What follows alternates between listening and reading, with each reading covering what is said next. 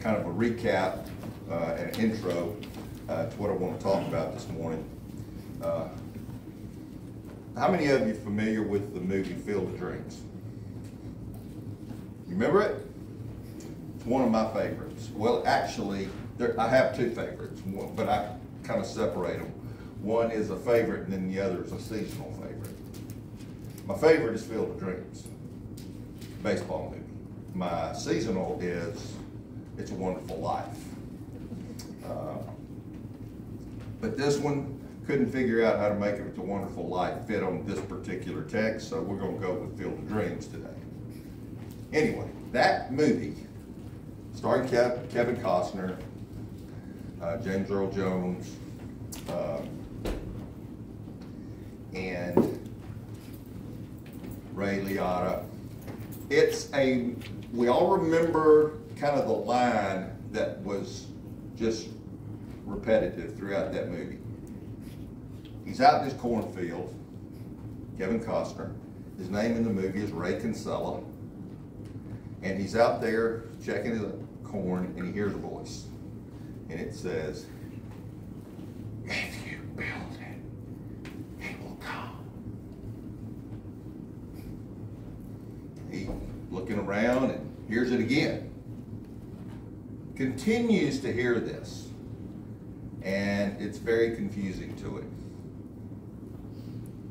Then he runs into James Earl Jones, who's playing the part of a guy, an old journalist that was kind of a radical journalist when Kevin Costner was growing up. Anyway, his name's Terrence Mann, and he meets him, and so they begin this quest for what this, if you build it, he will come. The meaning of that. And it takes them to all kind of places with all kind of people. And as the movie plays out, you can kind of tell that there's a little bit of a disconnect between Ray Kinsella, Kevin Costner, and his father in the movie named John Kinsella. Don't know his name, real life. But as the movie plays out and he builds this baseball field, mows his corn down, and builds this baseball field. Beautiful field, lights and everything. And these old baseball players from the 1910s, 20s, 30s, they all start coming back out of the cornfield to play games. And at the end of the movie, Kevin Costner gets out there and there's one guy left all the other players have left. And he looks up and it's his dad. And he wants to know if his dad would like to play catch. And he says, yeah, well, Ray knew who he, who he was, but John Kinsella did not know. Kevin Costner was his son. And as it closes, they're sitting there throwing, or standing there throwing the baseball back and forth. And the father, John, looks at Ray and he says, Is this heaven? And Ray says, No. No, it's Iowa. And he said, Sure looks like heaven. And then it reverses. And Ray looks at his dad, John, and he said, Dad, is there really a place called heaven? And John looks at him and he says, Yeah. Yeah, there's a real there's really a place called heaven. It's a place where dreams come true.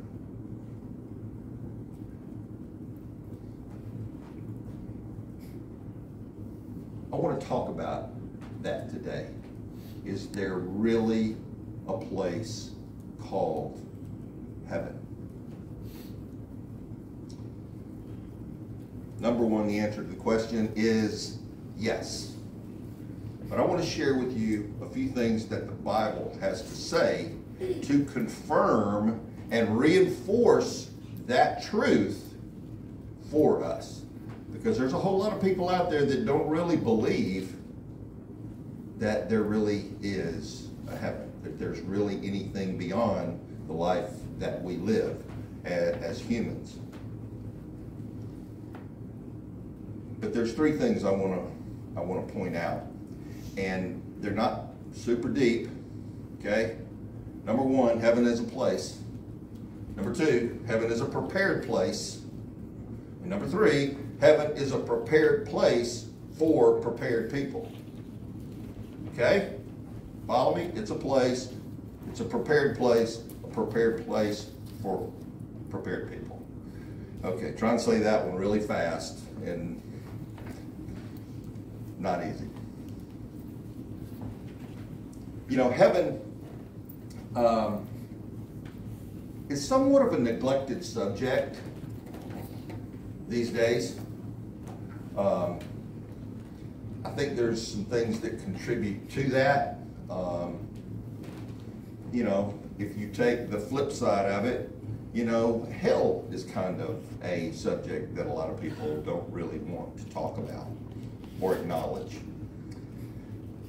I just think that, you know, I made a statement uh, two or three weeks ago. I think it was uh, two weeks ago on the 27th, the day of uh, Diane's baptism, that, you know, baptism is something that is a very foundational truth of Scripture.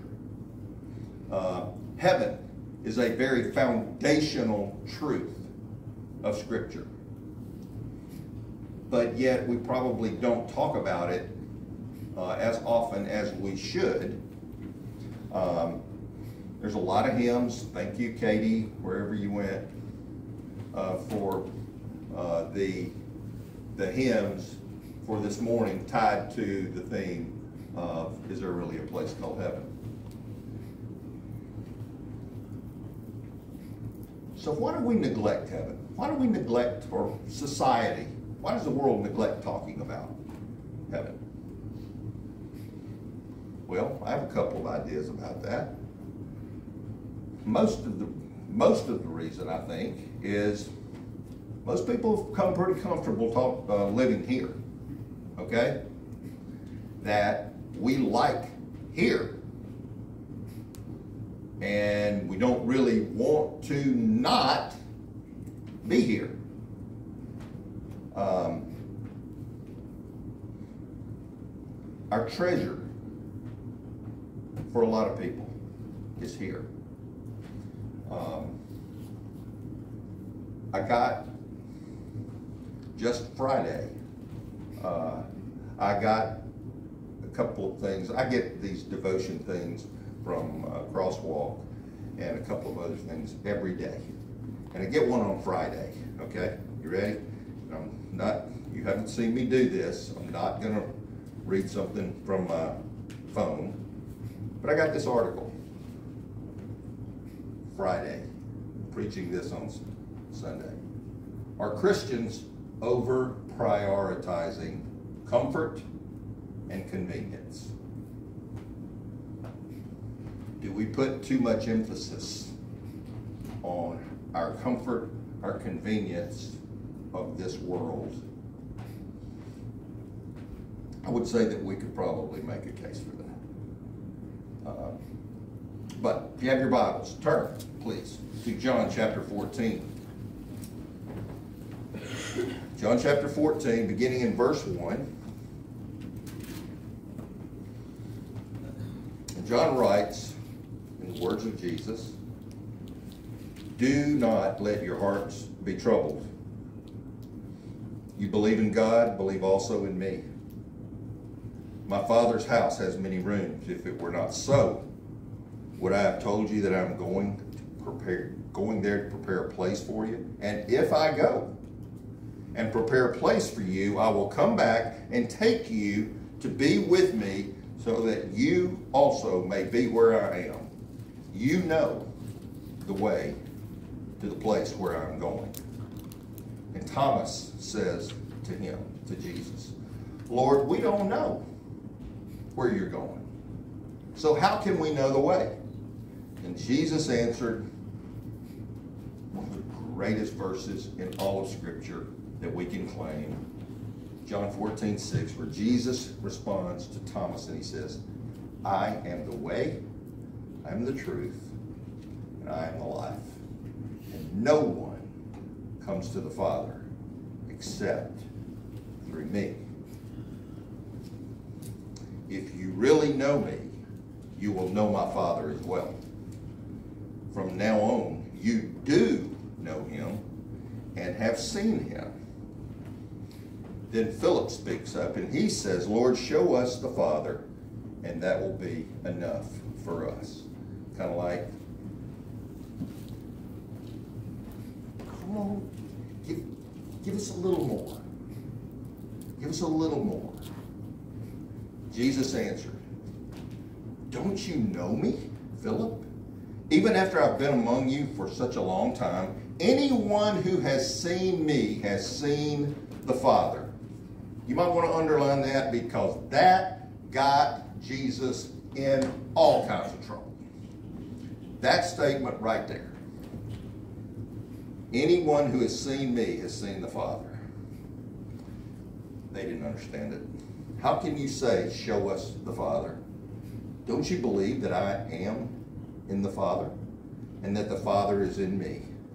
The words I say to you, I do not speak on my own authority. Rather, it is the Father living in me who is doing his work. And believe me, when I say that I am in the Father and the Father is in me, or at least believe on the evidence of the works themselves. Now, that is a comment that is tied to so many of the things that Jesus is doing and saying by evidence of some of the miracles that he has already performed, the teaching that he is doing. And he had already made the statement, you know, about authority in his teaching. And then at the end of Matthew, in chapter 28, the Great Commission, he says, All authority has been given to me by the Father. That's where we were tying into the baptism, following Christ's footsteps. So, first thing that I wanted to mention is that heaven is a place. Okay, there's a lot of mistakes about heaven out there. Different faith and belief systems believe different things about heaven. Very quickly, share a couple with you. Okay, the Mormon faith. Okay, they don't believe heaven in the same way we do. Okay, they believe that there's three levels or three kingdoms of glory. And the level that you ultimately reach depends on your level of faithfulness. In other words, it's a works-based faith. The better you are, the higher kingdom, okay, if you will, you will achieve in the afterlife. But you do not, they got great commercials on TV. But I'm going to tell you, they do not believe that Christ and belief in Christ is necessary to be able to go and live immortally in one of those three heavenly kingdoms. That's one. Okay, Jehovah's Witnesses. Jehovah's Witnesses, they have a basic belief that um, Number one, there is no hell. Okay? Our Bible teaches us that there is a heaven, there is a hell. There is good, there is evil. Okay? You with me? We all in agreement on that? Okay, Jehovah's Witnesses, their faith says that there is a certain um, anointed class that consists of 144,000 people that will be in an anointed class of heaven. Everybody else will live in a paradise or a heaven on earth. Um, my question on that is, what's the real draw there? Because I got a feeling those first 144,000 slots, I think those tickets have been passed out a long, long time ago. Okay? So, I don't have a chance at that, right? And then there is the mixture of Far Eastern religions, Buddhism, Hinduism, Confucianism, uh, and New Age movement, which is really just a conglomeration and a combination of all these different uh, Far Eastern schools of thought and belief systems. And here's the, here's the real basis for what that is. You come up, Greg, you come up with your idea, your belief of God that motivates you to be the best Greg you can be. Okay?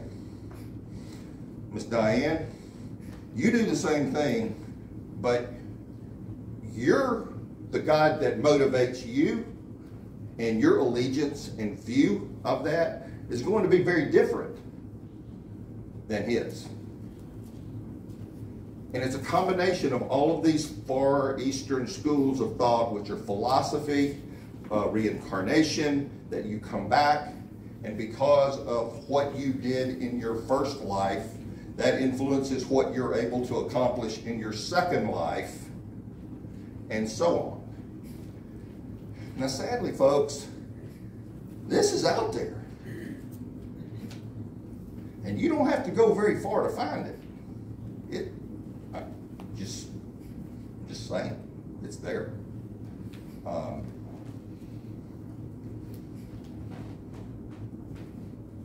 that's not what my Bible teaches. My Bible teaches me that heaven is the place from where God operates. Everything that He does, He operates from heaven with another person of himself being that of the Holy Spirit. Okay? Those other religions, they don't necessarily believe. We, we sing that song, God in three persons, the Trinity Father, Son, Holy Spirit.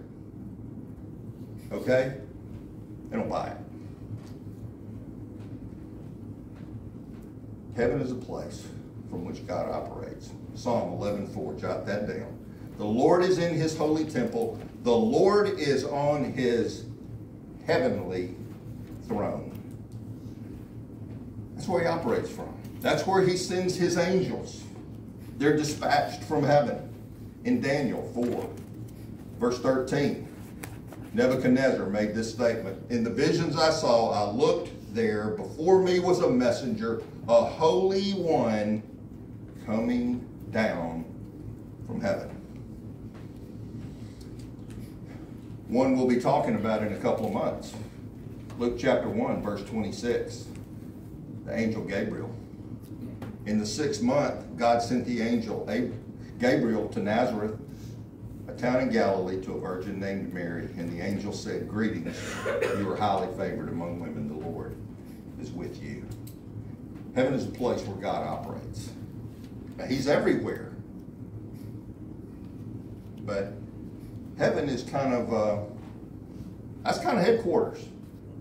Okay? So, what kind of place is heaven? You're to need to move quick on these. In fact, I'll just give them to you. You go read them. But I'm going to give you the, the main idea, emphasis, and the scripture address. Heaven is a place of music. Okay? Revelation 5 9. It's a place of praise. All of these in Revelation, so you can just write them down quick, okay? Revelation 7, verse 12. It's a place of service. Revelation 7, verse 15. A place of comfort, Revelation 7, verses 16, 17. A place of rest, Revelation 14, verse 13. A place of rejoicing, Revelation 19, verses 5 and 6. It is a place of beauty, Revelation 21, verses 10 and 11 and 23. Place where God operates. That's the kind of place it is. The Bible gives us some hints of what heaven is like. It's a place where we can store up our treasures. Remember this verse, Matthew 6, verses 19 and 20? Do not store up for yourselves treasures on earth where moth and rust will destroy, and where thieves break in and steal, but store up for yourselves treasures in where? Heaven. Where moth and rust do not destroy, and where thieves do not break in and destroy. The point of all of this is that there is so much more, so much more in store for us when we reach our heavenly home than anything we will ever know while we're here.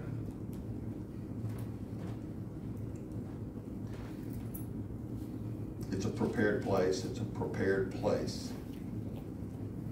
for prepared people. I go to prepare a place for you. You know, you remember some of the old movies um, or TV shows? I'm also a Gunsmoke fan, by the way. Just letting you know. You remember the early pioneers? We all had it in history class in school. When the pioneers left the east, moving west, exploring, and so many times it would be the men, the husbands who would go ahead of the wives and their families, going west, exploring, finding new land, and they would say, I'm going, what were they, why were they going? They were going to find a place and prepare it, okay, for their family.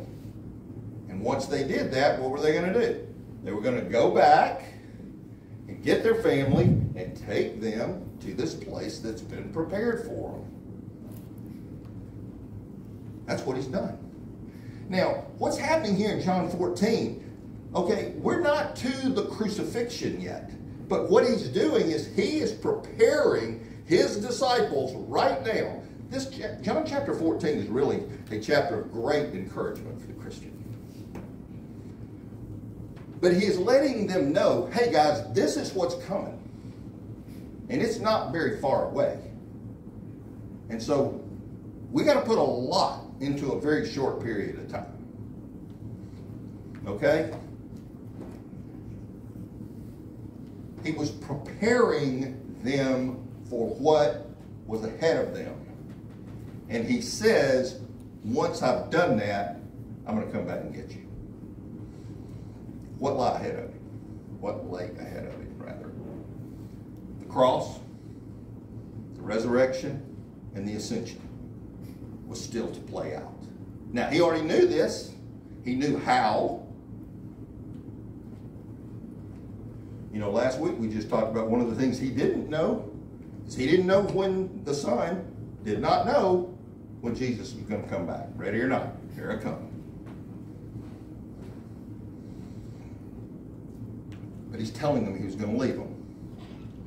He was going to go to heaven and he was going to prepare heaven for them. Now, the great news for us is that when he did that, he was preparing heaven for us. Okay? I don't think he got up there and called all the angels together and said, "Hey, y'all bring your tools. Start let's let's start building heaven houses for all my disciples and everybody." No. He's preparing the preparing heaven for us was fulfilling the prophecies that had been in the Old Testament, and he is fulfilling them, and in doing that, will prepare our eternal home. That's what he means by this. I found this very interesting. Now, this data is probably at least 12, maybe 15 years old. So, um, when I share it with you, probably won't think it would be terribly different today, but I cannot say that it would be exact today. It was a poll done by USA Today. USA Today automatically dates it because I don't think they're around anymore. Uh, but I remember reading this survey and I kept it and I put it in a file, put it on my computer, emailed it to myself so I always, always have it. it was a survey done by USA Today that showed that Americans are vitally interested in going to heaven. But their opinions, and I quote, about it are inconsistent and inaccurate. It was approximately 2,500 randomly selected adults. Now, this consisted of different places across the country, and a lot of it was just stopping people on the sidewalk in LA or New York or Cleveland or Seattle. And they also sent this survey information out to subscribers of the newspaper. And so they accumulated all this information so that they would have a good cross section uh, of data to work from.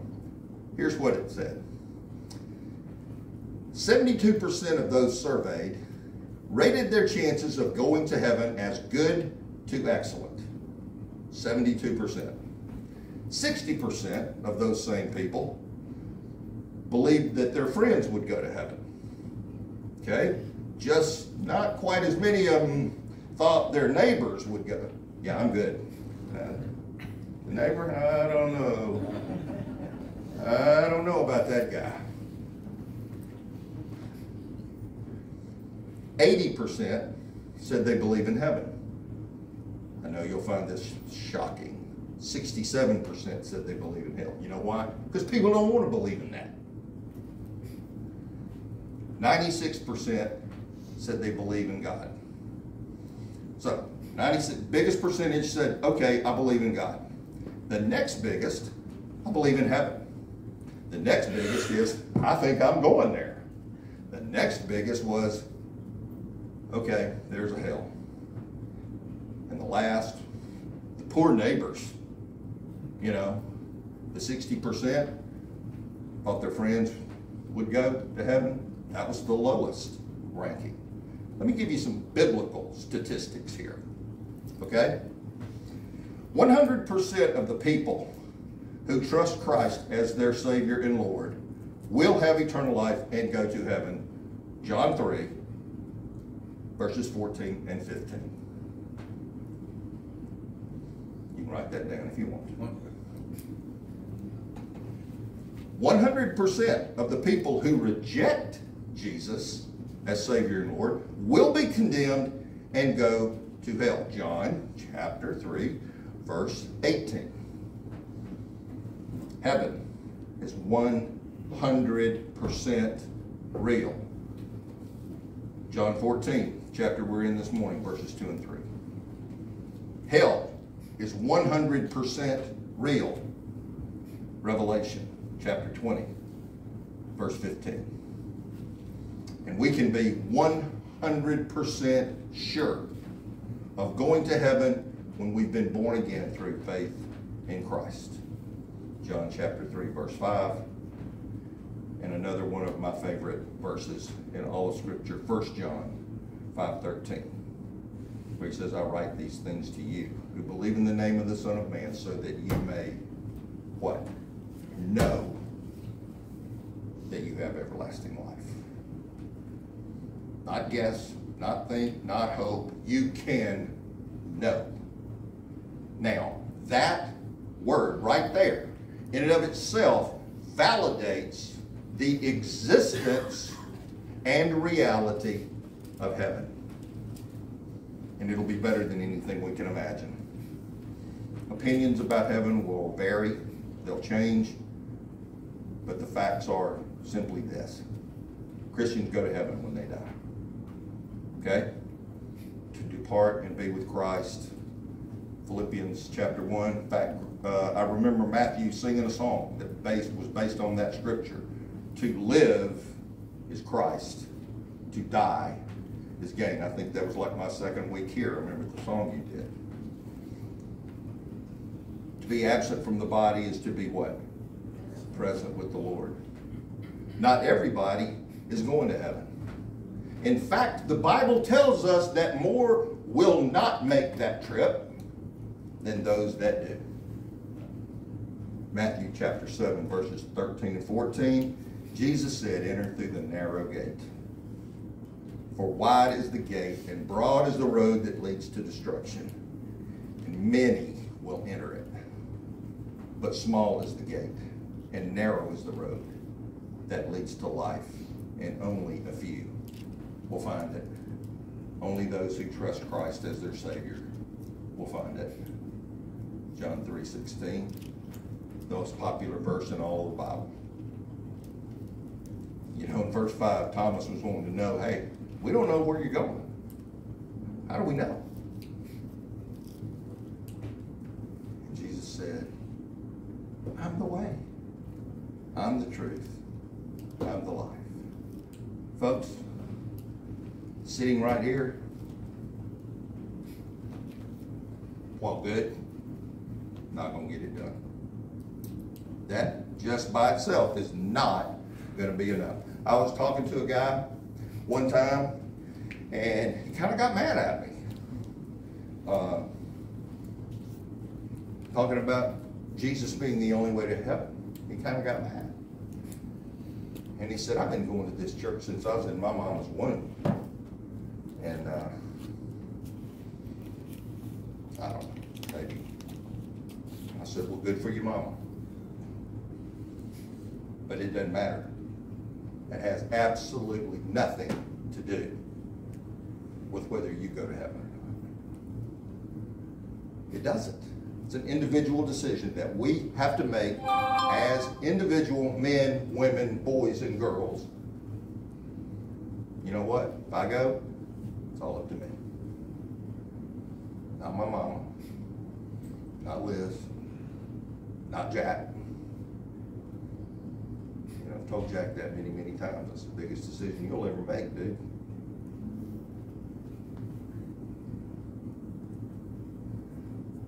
We'll close with uh, read a story of a guy who was uh, a very ambitious traveler, and he went down to South America, and there were a couple villages in particular that he had read about. He wanted to go uh, see, so he goes down there, and he starts trying to find somebody that will take him to this particular village, a guide. And so this one guy shows up and and he's volunteering to take this man to this village. And the guy says, well, have you ever been there? He said, uh, no. Uh, no, but, uh, but I've been part of the way to it. Um, and I got directions on how to get there after that. He said, well, I think I probably need a little better than that. So another guy shows up. He says, I'm trying to get to this particular village. Do you know the way? And he said, Well, I've been to the top of the mountain and I've seen the road that leads to that village. He said, But have you been there? He said, No, hadn't, hadn't been there. He said, Well, tell you what, I'll get back to you. And then a third man comes up and he says, Here you're looking for somebody to take you to this particular village. And he says, I am. He said, Do you know the way? He said, Yes, sir. I do know the way. He said, so you've been there? Oh, yes, sir. I've been there many times. He said, in fact, I live there.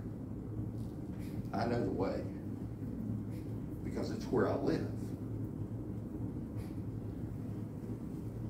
That's what Jesus saying. John 14, verse 6. I am the way. I know the way. You know why I know the way? Because it's where I live. It's a place from where my Father operates. It's where I live. And you and I are connected to my heavenly home because of the Holy Spirit that lives inside of you. Folks, it don't get any better than that. That's a great promise. And we as Christians can know that that is where we spend eternity.